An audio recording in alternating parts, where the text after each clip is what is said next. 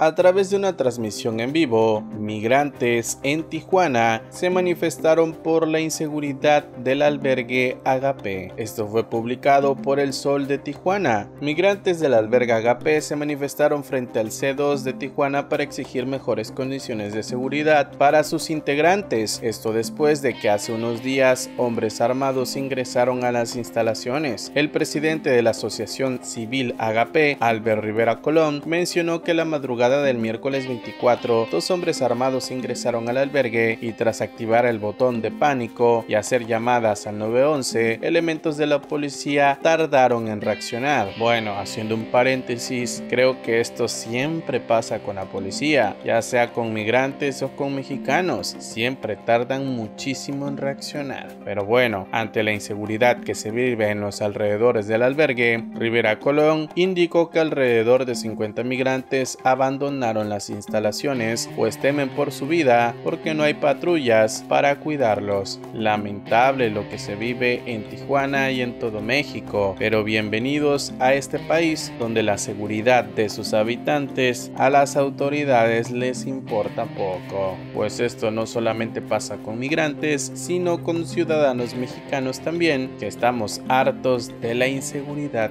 que se vive en el país. bueno, en otras noticias, ahora y viajando al sur del país, la Guardia Nacional cierra el paso a la caravana migrante.